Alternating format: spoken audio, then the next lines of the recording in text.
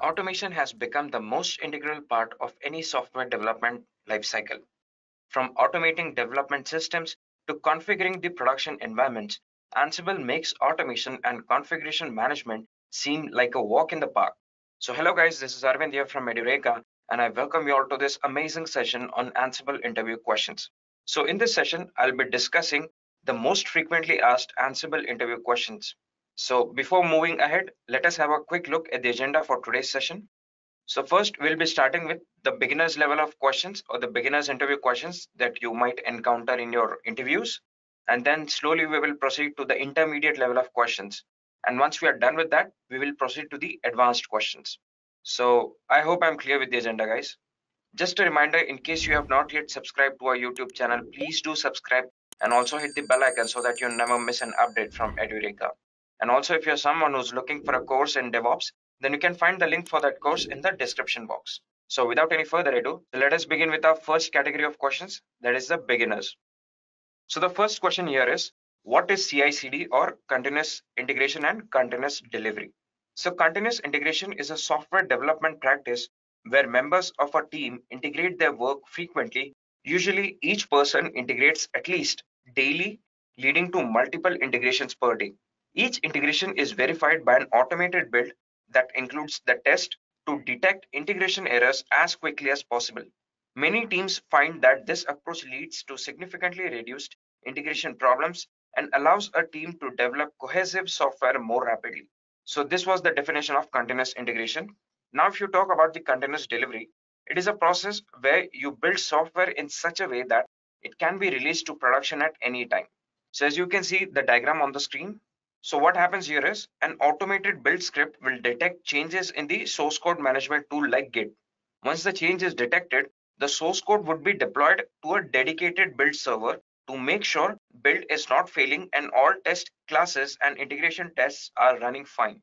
After that, the build application is deployed on the test servers, that is the pre-production servers for user acceptance testing. And finally, the application is manually deployed on the production servers for release. So this was the workflow of the CI/CD pipeline. The next question here is, what is configuration management and how does it help an organization? Configuration management is the practice of handling updates and changes systematically so that a system maintains its integrity over time. Configuration management keeps a track of all the updates that are needed in a system and it ensures that the current design and build state of the system is up to date and functioning correctly. So you can refer to the diagram that is present on your screen right now. Configuration management can help an organization by overcoming the following set of challenges. First, finding out what changes need to be implemented when user requirements change. Next, redoing and updating an implementation due to change in the requirements since the last implementation.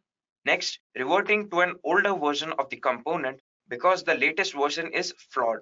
And finally, replacing the wrong component because you couldn't accurately determine which component needed replacing. So to understand this better, let me give you an example of New York Stock Exchange. The New York Stock Exchange encountered a glitch in the software which prevented them from trading stocks for approximately 90 minutes. On the night before, a new software was installed on 8 of its 20 trading terminals. Unfortunately, the software failed to operate properly on the 8 terminals. Therefore, by using configuration management tools such as Ansible and Puppet, they reverted back to the old software. Had they not implemented the configuration management, they would have taken a much longer time to fix the issue, which would have led to much bigger loss. So this was an example that you can explain in your interviews. Moving on. So the third question here is, what is Ansible and what makes it stand out from the rest of the configuration management tools? Ansible is an open source IT configuration management, deployment, and orchestration tool. It aims to provide large productivity gains to a wide variety of automation challenges. So if you talk about the features of Ansible, the first and foremost feature of Ansible is the simplicity. It uses a simple syntax written in YAML, which are also known as playbooks. The second point here is the agentless. No agents or software or additional firewall ports are needed to install on the client systems or the hosts which you want to automate. The third feature is the powerfulness and the flexibility. Ansible's capabilities allow you to orchestrate the entire application environment regardless of where it is deployed. And the fourth feature of Ansible is the efficiency. Ansible introduces modules as basic building blocks for your software. So you can even customize it as per your own requirements. So this was the definition of Ansible and some of the features of Ansible that you can answer if you encounter such a question in your interviews. So the next question is, how does Ansible work? Ansible, unlike other configuration management tools, is categorized into two types of servers. That is the controlling machines and the nodes. Controlling machine is where Ansible is installed and nodes are the ones that are managed by controlling machines through the SSH. There is an inventory file in the controlling machine that holds the location of the node systems. Ansible deploys modules on the node systems by running the playbook on the controlling machine. Ansible is agentless. This means that there is no need to have a third-party tool to make a connection between one node and the other. So this was the overall working of Ansible. The next question here is, how is Ansible different from Puppet? So now we will compare Ansible and Puppet based upon a few parameters. So if you talk about the first parameter, that is availability, both Ansible and Puppet are highly available. And if you talk about the ease of setup, Ansible is comparatively easy to set up, whereas Puppet is comparatively hard to set up. The third point here is the management.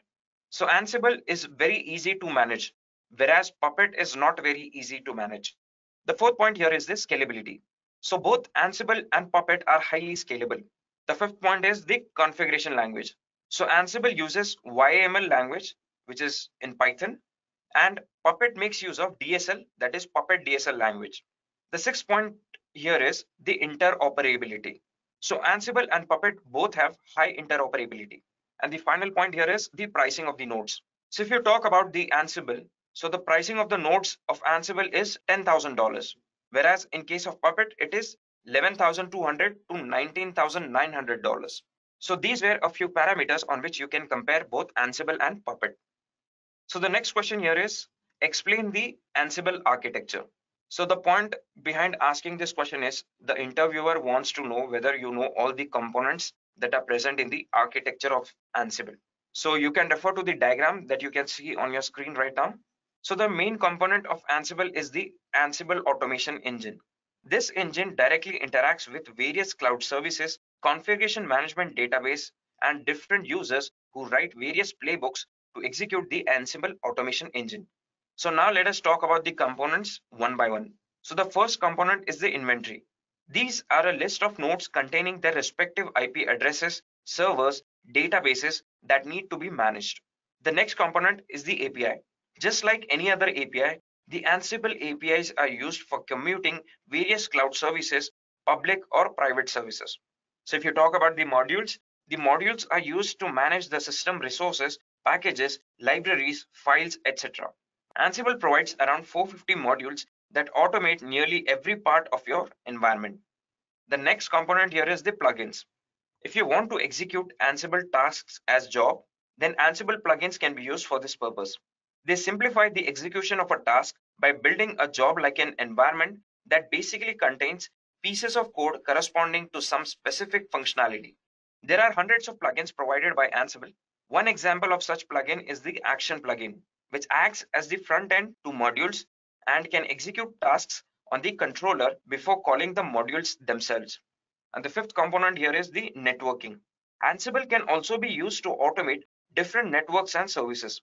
It can do this by creating a playbook or an Ansible rule that easily spans different network hardware. Moving on, now let us talk about the hosts.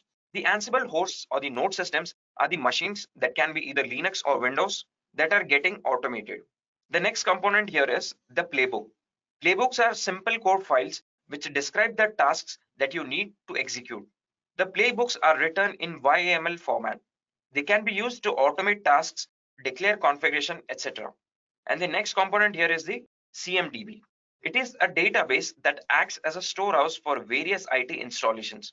It holds data about various IT assets and describes the relationship between such assets. And the final component here is the cloud. So cloud is a network of remote servers hosted on the internet to store, manage and process data rather than using a local server. So these were the components of the Ansible architecture. So the next question here is what are Ansible server requirements? So if you're a Windows user, then you need to have a virtual machine in which Linux should be installed. It requires Python 2.6 version or any other higher version than this. And if you fulfill all these requirements, then you're good to go. The next question here is, how would you install Ansible on CentOS systems? So to answer such questions, you can just describe the steps that are used here. So as you can see on the screen, the first step is to set up an EPEL repository.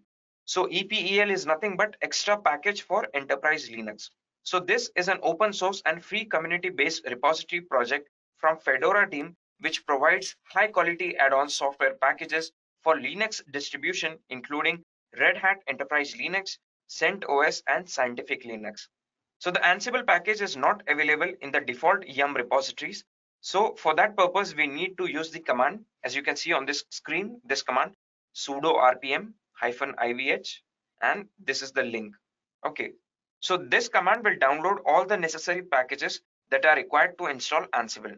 And once you're done with this, in the second step, you install the Ansible software using the commands that you can see here, yum install ansible hyphen y.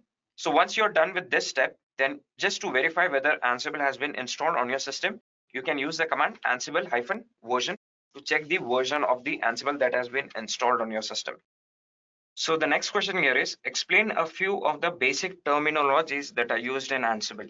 So if you have hands-on experience in Ansible, then I think you'll be able to easily answer this question in your interviews.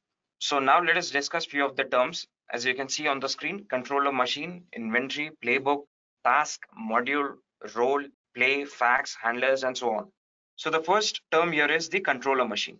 So the controller machine is responsible for provisioning the servers that are being managed. It is the machine where Ansible is installed. So now if you talk about the inventory, an inventory is an initialization file that has details about different servers that you're managing.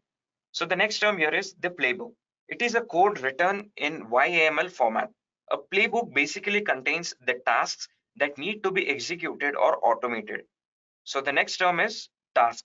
Each task represents a single procedure that needs to be executed.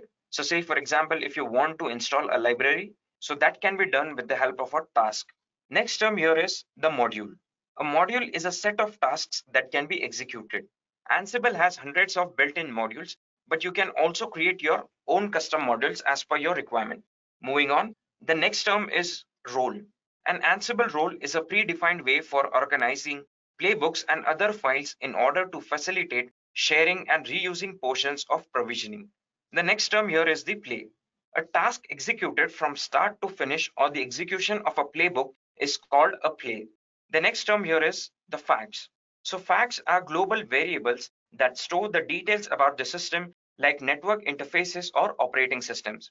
And the last term here is the handlers. So handlers are used to trigger the status of a service such as restarting or stopping a service. The next question here is explain the concept behind infrastructure as a code.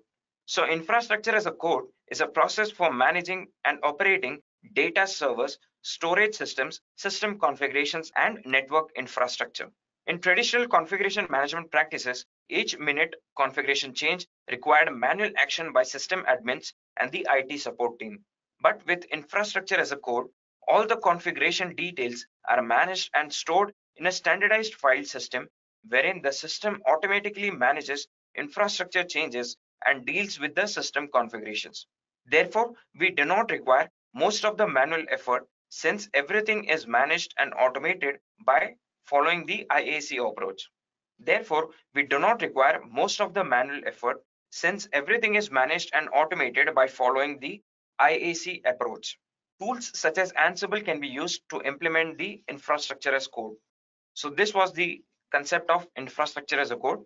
So for more clarity, you can also draw this diagram on a piece of paper in the interview. So the next question is compare Ansible with Chef. So here we will be comparing Ansible and Chef based upon a few parameters like we did in the previous case of Ansible and Puppet. So the first point of comparison here is the availability. So both Ansible and Chef are highly available. The next point here is the ease of setup. So Ansible is very easy to set up, whereas Chef is not that easy to set up. The next point here is the management. So Ansible is comparatively easy to manage, whereas this is not the case with Chef. So Chef is not very easy to manage. The next point here is the scalability. So both Ansible and Chef are highly scalable. And if you talk about the configuration language, Ansible uses the YAML language and Chef makes use of DSL language, which is in Ruby. So if you talk about the interoperability parameter, so both Ansible and Chef are highly interoperable. And the final point of comparison here is the pricing of the nodes. So for Ansible, the pricing is $10,000, whereas for Chef, it is $13,700. Moving on to the next question. What is Ansible Galaxy? Galaxy is a website that lets Ansible users share their roles and modules. Ansible roles from Galaxy or directly from a source code management system such as Git. It can also be used to build new roles, remove existing ones, and perform tasks on Galaxy website. So as you can see on the screen, this command Ansible Galaxy install username.role name. So this command can be used to download roles from the Galaxy website. The next question here is what are ad hoc commands and give an example. So ad hoc commands are simple one-line commands that are used to perform a certain task. You can think of ad hoc commands as an alternative to writing playbooks.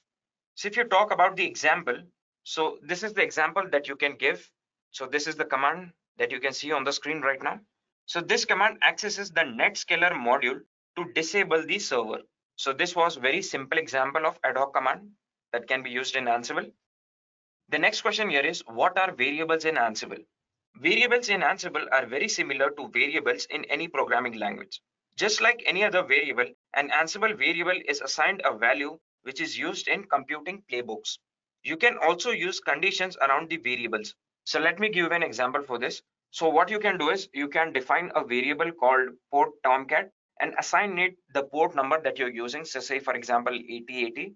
So such a variable can be used in the Ansible playbook. So this was pretty simple example. So you can give such examples which are easy to understand in your interview. The next question here is what is the difference between a variable name and an environment variable? So in case of a variable name, you need to add strings to create variable names. Whereas for environment variable, you need existing variables to access the environment variables. So for variable name, you can easily create multiple variable names by adding strings. Whereas to create an environment variable, we must refer advanced Ansible playbook. So for variable name, we can make use of IPv4 address, whereas we can make use of Ansible env.variable name for remote environment variables. So these were a few differences between a variable name and an environment variable. The next question here is what are Ansible modules and explain the different types of Ansible modules. So Ansible modules are a small set of programs that perform a specific task. Modules can be used to automate a wide range of tasks. Modules in Ansible are considered to be idempotent or in simple terms, making multiple identical requests has the same effect as making a single request. So there are basically two types of modules in Ansible. The first one is the core module and the second one is the extra module. So if you talk about the core modules, these are the modules that the core Ansible team maintains and will always ship with Ansible itself. They will also receive a slightly higher priority for all requests than those in the extra repositories. The source of these modules is hosted by Ansible on GitHub in the Ansible modules core. And if you talk about the extras modules, these modules are currently shipped with Ansible but might be shipped separately in the future. They are mostly maintained by the Ansible community. Non-core modules are still fully usable but may receive slightly lower response rates for issues and pull requests. Popular extra modules may be promoted to core modules over time. The source for these modules is hosted by Ansible on GitHub in the Ansible modules extras. The next question here is, what is Ansible task?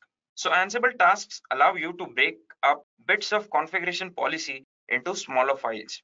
These are blocks of code that can be used to automate any process. For example, if you wish to install a package or update a software, you can use the code such as install space package name, comma, update and the name of the software. The next question here is what are playbooks in Ansible? And if possible, give some examples in such questions. So playbooks in Ansible are written in the YAML format. It is a human readable data serialization language. It is commonly used for configuration files. It can also be used in many applications where data is being stored. For Ansible, nearly every YAML file starts with a list. Each item in the list is a list of key value pairs, commonly called a hash or a dictionary. So it is important to know how to write lists and dictionaries in YAML. All members of a list are lines beginning at the same indentation level, starting with a dash or a hyphen. More complicated data structures are possible, such as lists of dictionaries or mixed dictionaries whose values are lists or a mix of both. So with this, we have come to the end of the beginner's level of interview questions. So normally, this is the flow of your interview. So once you're done with the basic level of questions, there will be slight increase in the complexity or the level of the questions. And to cover such questions, we will move to the second category of questions here, such as the intermediate interview questions. So the next question here is, can you write a simple playbook to install Nginx on a host machine? So if you have hands-on experience with Ansible, so you'll be able to answer this question in your interviews. But if you don't know, or if you haven't worked on Ansible before, so clearly deny answering this question. Okay. So for those who already know how to write a simple playbook, so these are the steps that you can follow to write a simple playbook. So the first step here is generate a public key using the command SSH. And this is done to connect your host. So the command for that is very simple, SSH hyphen keygen. So what this command will do, it will generate a public SSH key. The second step here is copy the public SSH key on your host. Once you're done with that, in the third step, you have to list all the IP addresses of your hosts or the nodes in your inventory. In the fourth step, you have to check if the connection has been established. So for that, you can ping to the IP address of your node or the host. In the fifth step, you create a playbook to install Nginx on the host machine. So for that purpose, you just need to create a playbook to open a file with a YML extension. So the command for that is very simple. You can use any editor that you want. So say for example, vi space name of your file dot YML. In an Ansible playbook, the tasks are defined as a list of dictionaries and are executed from top to bottom. Each task is defined as a dictionary that can have several keys, such as name or sudo, which signify the name of the task and whether it requires sudo privileges. A variable server port is set that listens on TCP port 8080 for all the incoming requests. Here, the first task is to get the necessary package for installation of Nginx and then install it. Internally, Ansible will check if the directory exists and create it if it does not. Else, it will do nothing. The next task is to configure Nginx. In Nginx, context contains the configuration details. So now you have to save this file and exit. And the next step here is running the playbook. And after you run the playbook, the seventh step or the final step here is to check if Nginx is installed on your system. So these were the steps that you must follow to write a simple playbook. The next question here is, how would you access a variable of the first host in a group? So the command for that is very simple as you can see on the screen. So in this command, we are basically accessing the host name of the first machine in the web servers group. If you're using a template to do this, then use Jinja2 or you can also use set_fact. The next question here is, why is this notation used? As you can see on the screen, this two curly braces, okay, opening and closing. And how can one interpolate variables or dynamic variable names? So one basic rule is you use this notation, these double curly braces to define an exception. Conditionals are always run through Jinja2 as to resolve the expression. Except for the when clause, we have to use brackets, otherwise differentiating between an undefined variable and a string will be difficult. The next question here is, what is Ansible role and how are they different from playbook? So Ansible role is basically another level of abstraction used to organize playbooks. They provide a skeleton for an independent and reusable collection of variables, tasks, templates, files, and modules which can be automatically loaded into the playbook. Playbooks are a collection of roles, and every role has a specific functionality. So let us understand the difference between Ansible roles and playbook with an example. So suppose you want your playbook to perform 10 different tasks on five different systems. So for that purpose, would you use a single playbook? The obvious answer is no. Using a single playbook can make it confusing and prone to blunders. Instead, you can create 10 different roles where each role will perform one particular task. After that, all you need to do is mention the name of the role inside the playbook to call them. So you can give such examples in your interviews. So the next question here is, how do I write Ansible handler with multiple tasks? Say for example, if you want to create a handler that restarts a service only if it is already running. So handlers can listen to generic topics and tasks can notify those topics. This functionality makes it much easier to trigger multiple handlers. It also decouples handlers from their names, making it easier to share handlers among the playbooks and the roles. The next question is how to keep secret data in a playbook. So suppose you have a task that you don't want to show the output or the command given to it using the hyphen V or the verbose mode. The following task can be used to do it. This can be used to keep verbose output but hide sensitive information from others who would otherwise like to able to see the output. The no log attribute can also apply to an entire play. So as you can see on the screen, this is the code here that you can use to keep secret data or the sensitive data in a playbook. The next question here is, what are Ansible vaults and why are they used? Ansible Vault is a feature that allows you to keep all your secrets safe. It can encrypt entire files, entire YAML playbooks, or even a few variables. It provides a facility where you can not only encrypt sensitive data, but also integrate them into your playbooks. Vault is implemented with file level granularity, where the files are either entirely encrypted or entirely unencrypted. It uses the same password for encrypting as well as decrypting files, which makes Ansible Vault very user friendly. So the next question here is how to create encrypted files using Ansible. To create an encrypted file, we can make use of Ansible Vault create command and pass the name of the file as parameter. So as you can see on the screen, this is the command here, ansible-vault create filename.yaml. So when you type this command, you'll be promoted to create a password and then confirm it by retyping the password. So once your password is confirmed, a new file will be created and will open an editing window. By default, the editor for Ansible Vault is VI. You can add data, save and exit. The next question here is, what is Ansible Tower? Ansible Tower is Ansible at more enterprise level. It is a web-based solution for managing your organization with a very easy user interface that provides a dashboard with all of the state summaries of all the hosts, allows quick deployments, and monitors all the configurations. The tower allows you to share the SSH credentials without exposing them, logs all the jobs, manages inventories graphically, and synchronizes them with a wide variety of cloud providers.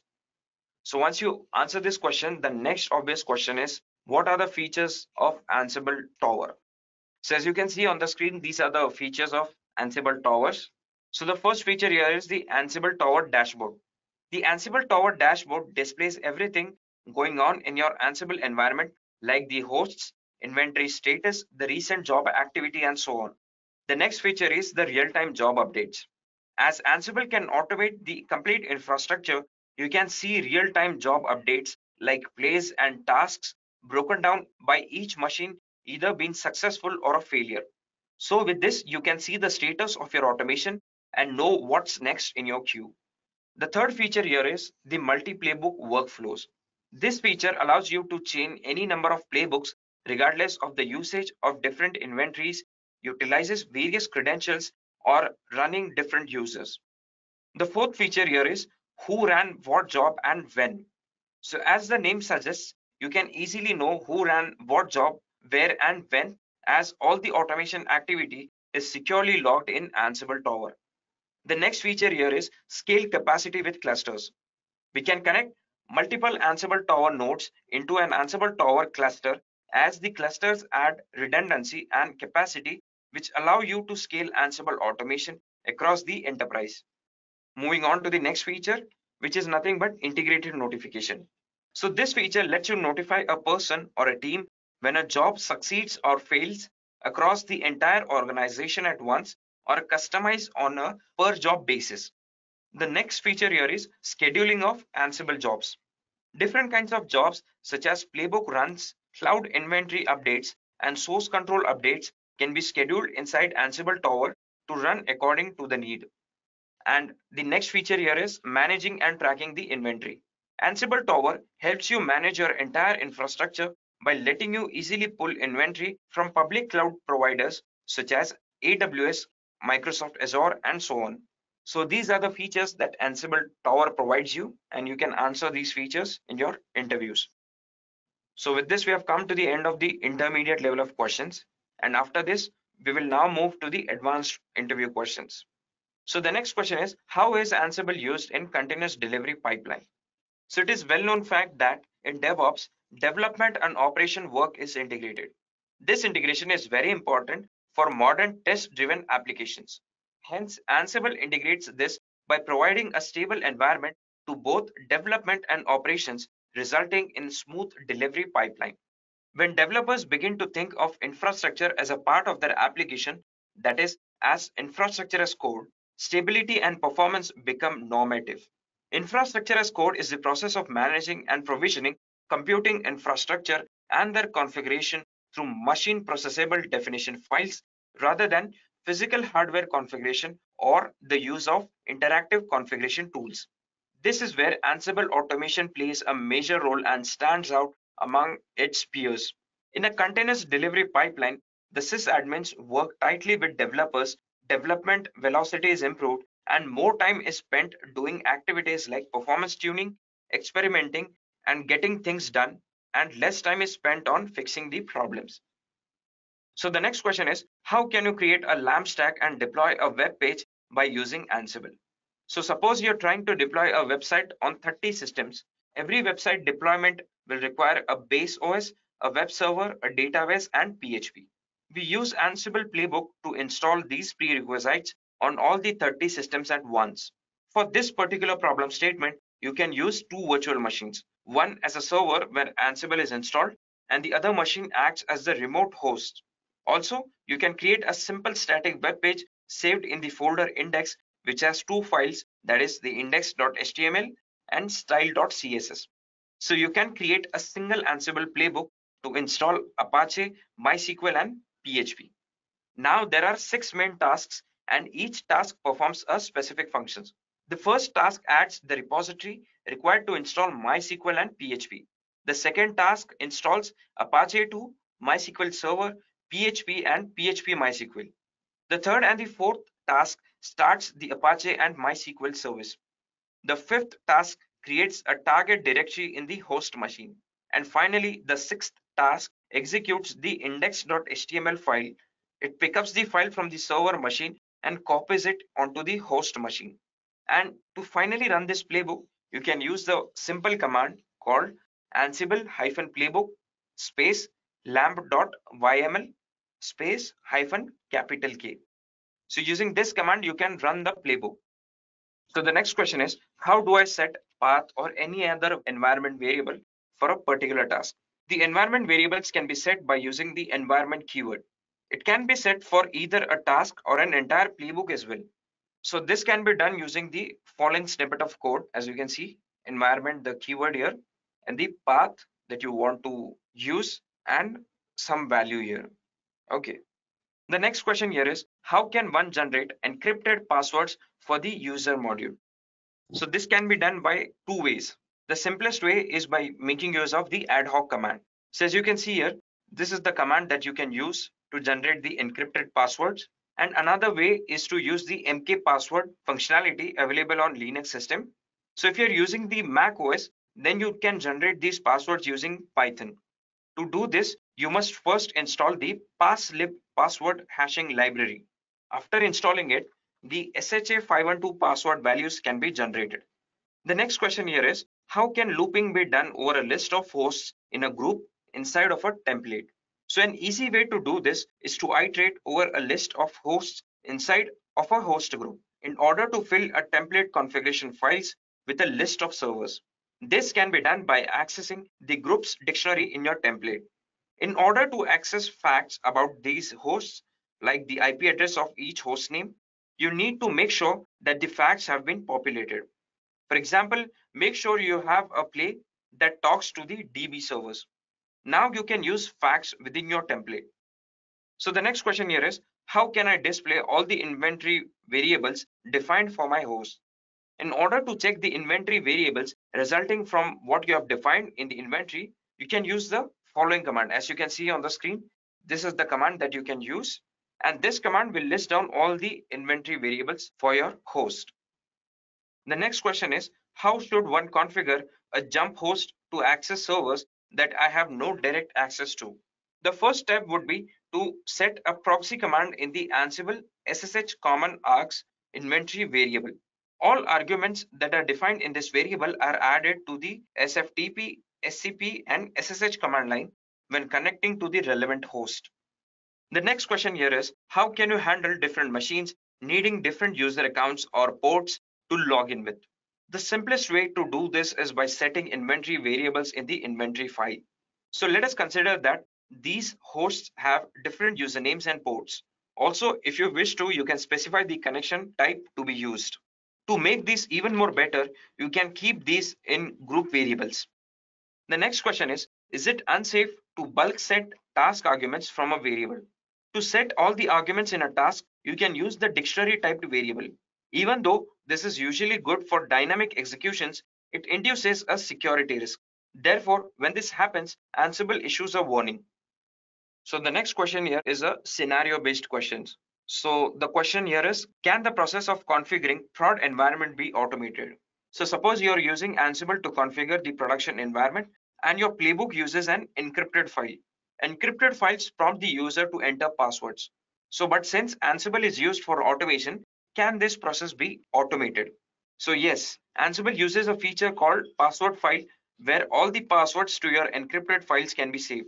So each time a user is asked for the password, he can simply make a call to the password file. The password is automatically read and entered by Ansible. Having a separate script that specifies the passwords is also possible. You need to make sure the script file is executable and the password is printed to standard output for it to work without any annoying errors. So the next question here is, have you worked with Ansible before? And if yes, please share your experience.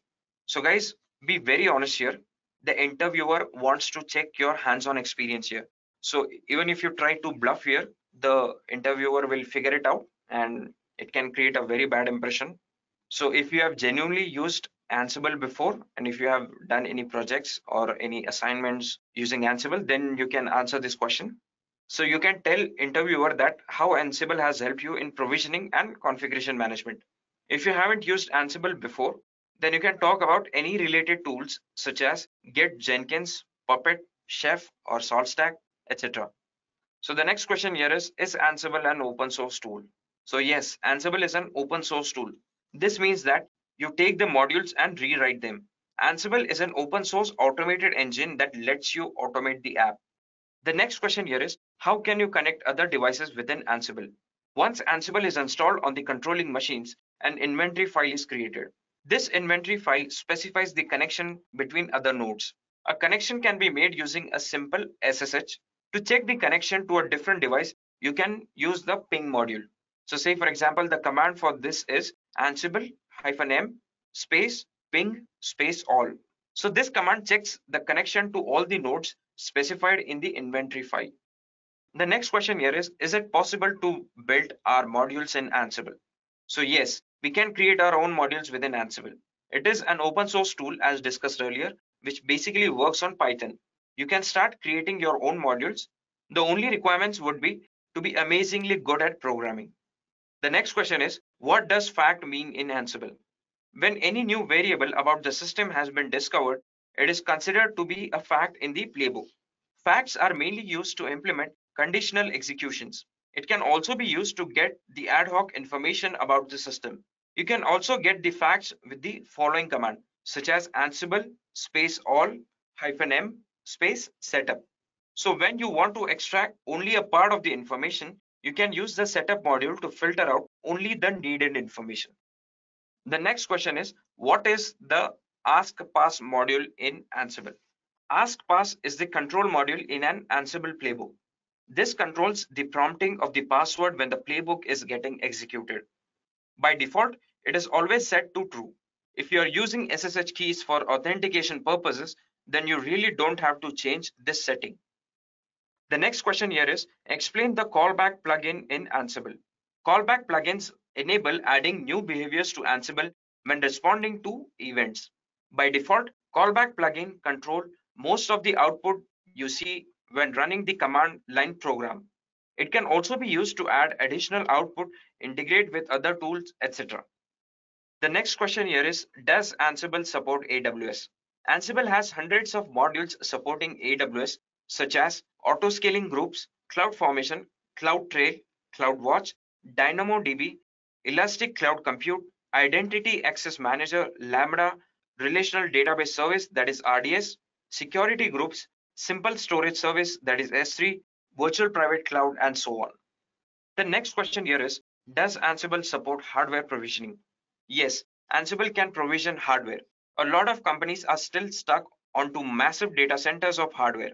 There are a few requirements. You must set up some services before you go ahead. Some of them are DHCP, PXE, TFTP, operating system media, web server, and so on. The next question here is, write an Ansible playbook to automate the starting of EC2 instance.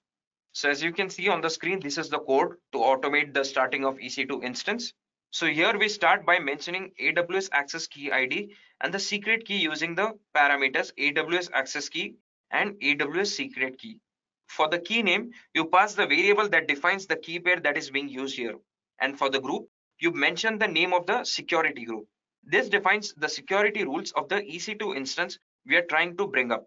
For the instance type, you pass the variable that defines the type of instance we are using here. For image, you pass the variable that defines the AMI of the image we are trying to start. And for wait, this has a boolean value of either true or false. If true, it waits for the instance to reach the desired state before returning. If you talk about the region, here you pass the variable that defines the region in which an EC2 instance needs to be created. If you talk about the count parameter, this parameter specifies the number of instances that need to be created. In this case, I've only mentioned one, but you can change it as per your requirements. The next parameter here is the VPC subnet ID. Here you pass the subnet ID in which you wish to create the instance. And the final parameter here is the assigned public IP. This parameter has a boolean value. If true, like in our case, a public IP will be assigned to the instance when provisioned with virtual private cloud. The next question here is, can you copy files recursively onto a target host? If yes, how? Yes, you can copy files recursively onto a target host using the copy module. It has a recursive parameter which copies files from a directory. There is another module called synchronize which is specifically made for this. And the final question here is write a playbook to create a backup of a file in the remote servers before copy. So this is a pretty simple code for creating the playbook here. So as you can see on the screen, this is the simple code here, code snippet. With this, we have come to the end of this session on Ansible interview questions. I hope you have enjoyed this session. If you have any queries related to this session, then you can write them in the description box below and we will try to resolve your queries as early as possible. Thank you so much. I hope you have enjoyed listening to this video. Please be kind enough to like it and you can comment any of your doubts and queries and we will reply them at the earliest. Do look out for more videos in our playlist and subscribe to Edureka channel to learn more. Happy learning!